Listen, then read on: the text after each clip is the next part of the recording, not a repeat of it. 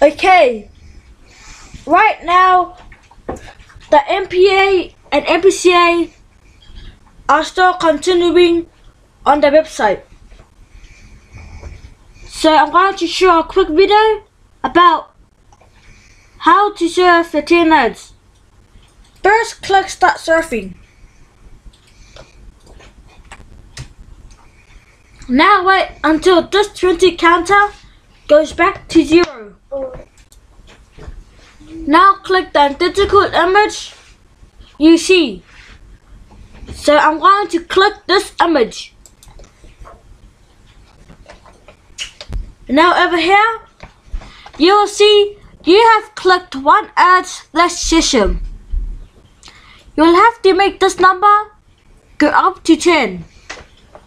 So you'll have to click the identical image.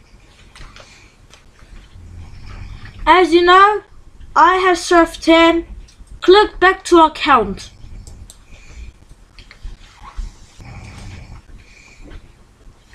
And now scroll down. And you'll see 23 hours, 58 minutes, and a random second. So that's how it works on my paying ads.